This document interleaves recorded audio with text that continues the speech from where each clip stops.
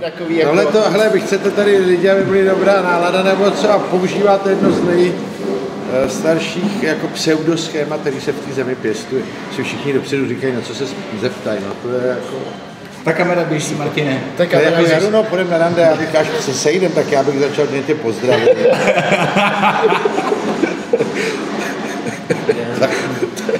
A úplně na začátek se teda zeptám, kdo vás inspiroval, jak v životě, tak celkově tady s tou show. Na jednu stranu bych vyjmenoval plno lidí, na druhou stranu takový, jako pokud je o show, tak hlavní bylo, že jsem ji viděl na amerických televizích. Lépe řečeno, v Česku jsem viděl na americké televizi tu show a říkal jsem si, to je ohromný pořad, ten je svobodný a není to takový ten debilní televizní pořad, což je většina televizních pořadů, od jak živa, ještě se to zhoršuje. že? Abych řekl pravdu, tak ono se to posune, oni některý z těch Talkmasterů, co jsem měl rád, už skončili nebo končej a eh, vlastně se to trošku mění, takže to začíná být víc politický, bo taky v tom, že lidi už mají radši tu politickou satiru jako místo zpráv nebo aktuálního zpravodajství, ale zas tak moc to nesleduju občas. Občas. Já teda nevím, to jste myslím v jedné show i- řekl, nebo někde jste to prohlásil, že vlastně jste sledoval, nebo jste se inspiroval Jayem Lennon. Ano, Jay Leno byl jeden z těch, ale máme hlavní Johnny Carson, který to dá se říct vymyslel, pak Jay Leno, Conan O'Brien a e, samozřejmě Letterman. Ale oni mají každý něco jiného, každý jsou jiný a po nich jsou další a teď ten mladý už to převzal, že jo. Potom Jay Leno, Jimmy Fallon. no. A, A- právě teda ten Jay Leno skončil po 25 letech Ano. a mě zajímá takový ten, nebo říká se, že o, ten moderátor nebo ten hostitel té show má odhadnout ten jako správný konec. A jak To je vidíte česká třeba- starost, no to máte českou starost. Nikdo No to na jsem světě jako nemá. slyšel. No to mají jenom Češi. Češi se furt starají, když někomu něco trochu jde, když už toho nechá. Když toho nechá, no. No, nevím.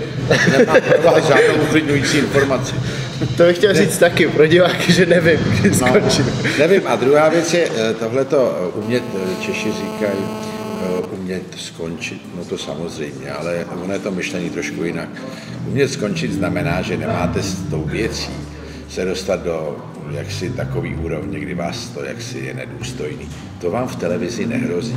Tam jakmile spadne ta sledovanost pod přijatelnou mínu, tak letíte. Ale druhá věc je tahle obava česká, spočívá v tom, že já si představuji, že běžíte závod a když jste první, máte náskok, tak byste to měl nechat, abyste v nejlepším přestal. Jo, protože nevíte, jestli vás někdo nepředběhne. Tak to ne. A je řada českých pořekadel, které jsou vadný. Jedno z nich je tohle, teda ta interpretace a druhý moje oblíbený je, že každý je nahraditelný. Je, ale někdy hovnem. Takže to je, jako já můžu hrát místo Jágra hokej, můžu, ale bude mít gólů a e, možná nebudou ty fanoušci tak spokojení s tím mým bruslením, já se budu opírat celou dobu o Manťa, ale nahradím ho. Nahradíme Jágra hovnem, Krausem tentokrát. Brusli tu víte. No, nebrusil jsem asi 50 let, a to je jedno, jako aby ho nahradil. Kdyby řekl, jdi tam místo něj, aby řekl, jo, já ho nahradím. Jasný. Mě ještě českých televizí. Myslím si, že televize obecně končí. A e, platí to, co platilo vždycky, akorát dřív televize byla jediný monopolní distributor, to už skončí. A čím dál výrazněji, kdo bude dělat zajímavý obsah, bude mít šanci. Takže to pokoušení pro ty pokušitele je furt stejný, zkusit udělat něco, co vyvolá zájem. Ale kudy to pak dostanou k lidem, už je jiná otázka. Televize to asi nebude, protože televize je stará telefonní linka, která vám říká, že to vysílá od 8 hodin večer a že eh, teda máte být doma, no tak to samozřejmě nejde. To už i já nejsem ochotný akceptovat ve většině případů, takže se na televizní pořady dívám často na internet. Říkáte si po natáčení show třeba, co jste mohl udělat lépe? Ne, to si neříkám, protože vím, že to je marný, ale někdy si říkám, že to bylo docela takový k ničemu, někdy zase mám dobrý pocit a zjistil jsem, že ty moje pocity nejsou ale směrodatný. S divákem. No ne s divákama, s ničím. To je můj pocit a e, pak máte dobrý pocit a lidi na to koukali málo, máte blbej a koukali hodně. A to, že koukali málo nebo hodně, souvisí s tím, co šlo na ostatních kanálech a jaký bylo počasí. Takže ono to nemá cenu, ono je vlastně jednoduchý, tak když tam vejdete a tam jsou ty lidi, tak vždycky děláte, co umíte, co můžete. Měl jste třeba někdy nějakou den natáčení úplně krizi a musel jste to tady jako prostě i tak zvládnout? Ne, no byl jsem nemocný třeba, no. Ale na to tam zapomenete poměrně rychle. A, a třeba nějaký jako horší krize, třeba partnerský krize, nebo že jste měl fakt zkaženou náladu a vůbec vám nechtěl. To vás všechno jste- přejde před lidma. Jo. Tak eh, víte, na to by byla nejlepší odpověď, si tam bleste. Ale ono za, za tím slovem si tam bleste je ta největší dřina, aby tam přišli. To je nejtěžší.